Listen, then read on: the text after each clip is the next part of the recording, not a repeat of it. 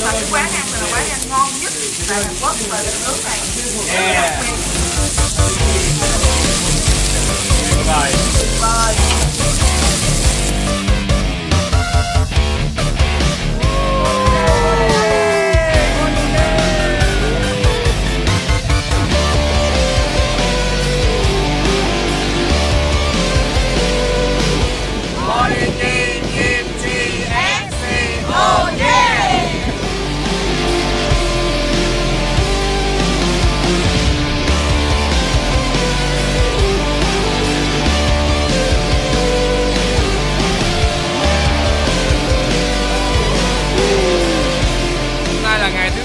Đi chơi ở Seoul, Hàn Quốc thì chúng tôi đang ở biên giới Bắc Hàn.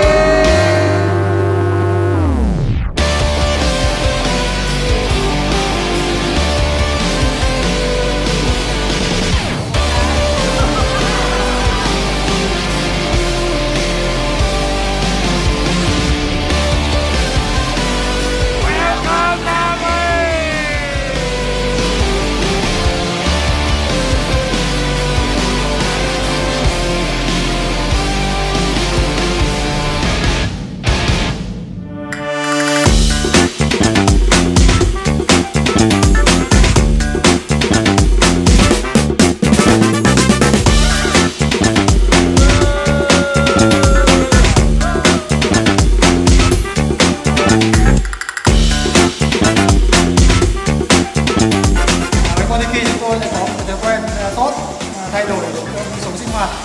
À, tập luyện để có một cái thể lực à, tinh thần luôn luôn vui vẻ. Và coi sẽ được tuyệt vời.